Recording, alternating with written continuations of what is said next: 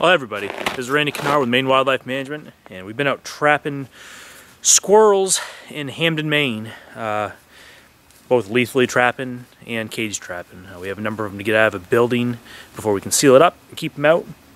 Um, but the other day we got stuck, we ran out of traps, and this is a repeating trap where there's no, the door doesn't have a trigger mechanism, it just free floats, so the animal can come in, push through, get in, and they get stuck when the door closes. There's a little ramp right there.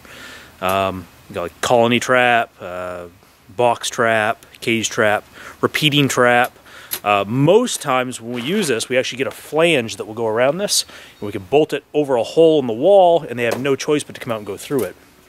Uh, but, you know, last minute, we didn't really have it. It was just sitting in the back of the truck. So we tossed it out, we put a bunch of nuts in the front, and a bunch throughout here. We actually had this all wrapped up previously, and uh, we ended up just sitting right on the ground, and the squirrels were actually curious enough and hungry enough where they actually came by, stepped in here, came through, and we've got one hanging out in the back here.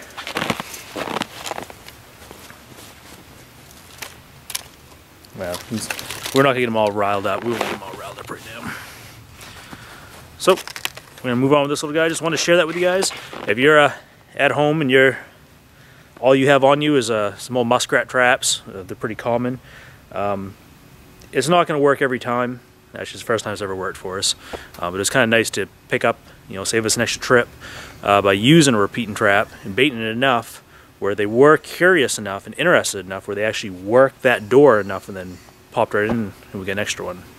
Um, so there's more than one way to catch your squirrels out there. So thanks a lot for watching and we'll see you guys next time. Thanks.